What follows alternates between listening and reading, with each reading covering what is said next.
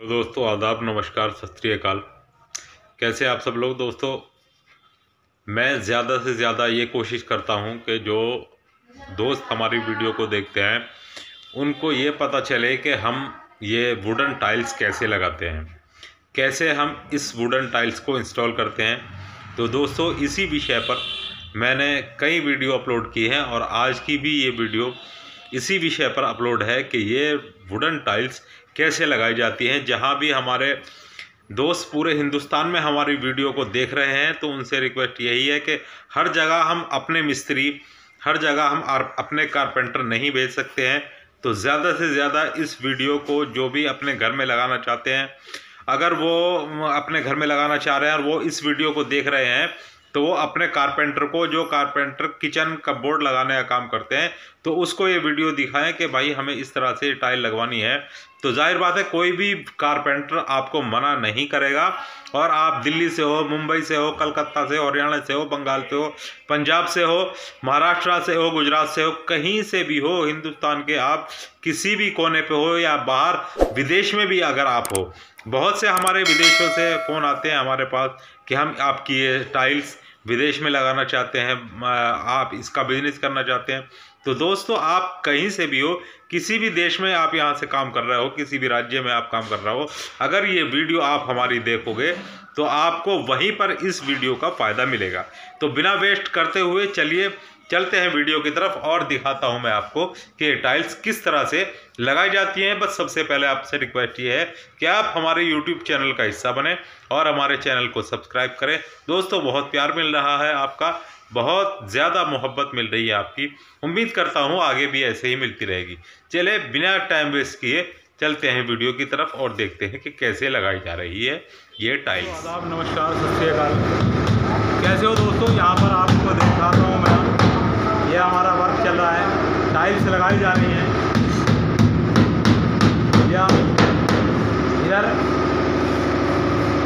आपको दिखाऊँ मैं आपको, ये हमने 11 बाई 12 के छत बनाई है। और इस छत के अंदर ये टाइल्स लगाई जा रही हैं। ये आप देख सकते हो, ये टाइल्स लगाई जा रही हैं। और साथ साथ दूसरे रूम के अंदर जो हमने ये फाइनल कर दिया है, ये आप देख सकते हो। यहाँ पर ये पॉलिश की प्रक्रिया चल रही है। ये आप देखिए। यहाँ पर ये रूम हमने टाइल्स लगा करके फाइनल कर दिया है। इस रूम के अंदर ये पॉलिश की प्रक्रिया चल रही है। यहाँ पर ये पॉलिश किया जा रहा है। ये सारा आप काम देख रहे हो। ये देखिए, यहाँ पर ये कारीगर काम करते हुए यहाँ पर ये पॉलिश की प्रक्रिया, ये रूम पूरा फाइनल हो चुका है। ये मैं आपको फाइनल रूम आपको मैं दिखा देता हूँ। वहाँ पर ये टाइल दूसरे रूम में लगाई जा रही है। ये रूम हमने फाइनल कर दिया है। इस रूम में हमने अलग अंदाज में टाइल्स लगाई है और उस रूम के अंदर हमने अलग अंदाज में अलग स्टाइल के साथ ये टाइल्स लगाई है। ये आप देखिए रूम के अंदर जो हमने टाइल लगाई है, वो सिर्फ़ चार फुट इधर से छोड़कर और चार फुट इधर से छोड़कर सिर्फ़ छः फुट में ये बॉर्डर लिया है हमने। छः फुट टाइल का। ये आप देख सकते हो, ये पॉलिश हमारा चल रहा है टाइल्स का। ये पॉलिश चल रहा है। ये इस तरह से पूरा हमने छत तक, ये पूरा हमने लिया है। ये आप देख सकते हो। यहाँ पर ये एंड हो जाती है। बाकी पूरा रूम यहाँ पर ही हमने बॉर्डर लिया है इसका। ये आप देखिए। ये बॉर्डर मैं आपको दिखाऊँ। ये आप उस बॉर्डर देखिए। और बीच में हमने ये छः फुट का टाइल्स का लिया है। ये पॉलिश चल रहा है इधर आप देख सकते हो कि टाइल्स पर जो फाइनल हो चुका है, यहाँ पर ये पॉलिश चल रहा है। यहाँ ये पॉलिश हो रहा है इसको। तो और यहाँ पर आप देख सकते हो, यहाँ पर ये टाइल्स ठोकी जा रही है। यहाँ पर ये लगाई जा रही है। ये वर्क जो हुआ हुआ है यहाँ का, ये मैं आपको बता दूँ, ये जो वर्क हमारा चल रहा है, ये यूपी उत्तर प्रदेश, ज़िला बिजनौर, बूंद की मिल के पास एक गाँव हरगनपुर है। यहाँ पर हमारे डॉक्टर साहब हैं स्किन डॉक्टर उनकी शादी है तो उनकी शादी के लिए ये रूम तैयार किए जा रहे हैं। डॉक्टर साहब की शादी के लिए ये रूम तैयार किया जा रहा है।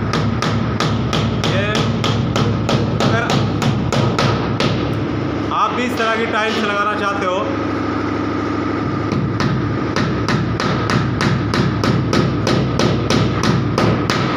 अपने रूम के अंदर, डॉक्टर लोग अपने ऑफ़िस के अंदर, या जिनको भगवान ने, ईश्वर ने, अल्लाह ने पैसा दिया है, वो किसी आस्था की जगह मंदिर या मस्जिद में लगाना चाहते हैं तो ये टाइल्स मैं आपको मशवरा दूँगा ये मंदिर या मस्जिद की जगह में बहुत ही खूबसूरत, बहुत अच्छी टाइल्स लगेगी।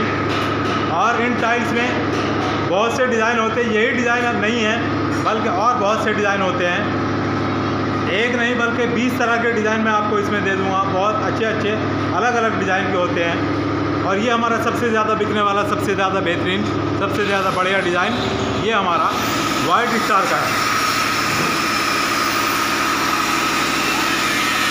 ये देखिए फेविकोल इस पर लगा दिया। इसको पहले फैला के लगा ये ये हाँ। ये फेविकोल इस पर। टाइल्स को। बैक साइड में फेविकोल लगा दो। हाँ। ये फेविकोल लगा दिया और इसको। यहाँ पर पेस्ट कर दो इसको। पेस्ट करने के बाद, ये देखिए। पेस्ट करने के बाद इसमें कीले छोटी, सत्रह, अठारह नंबर की कीले लगा दो।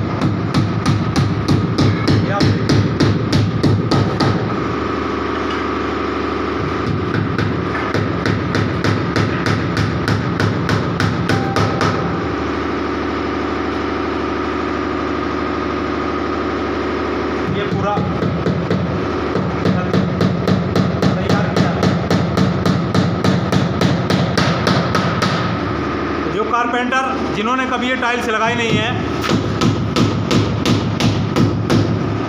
और वो कारपेंटरी का काम करते हैं।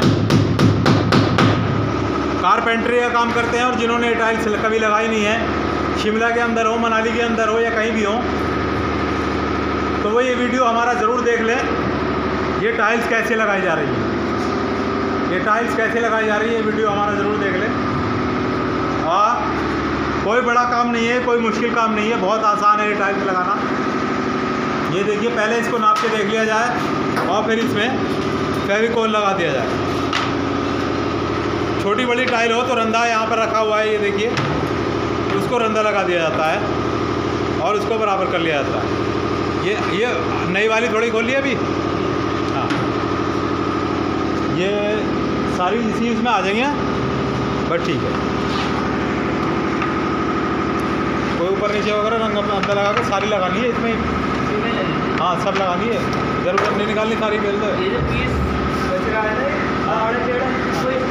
हाँ हाँ उतना इधर। हाँ हाँ ठीक।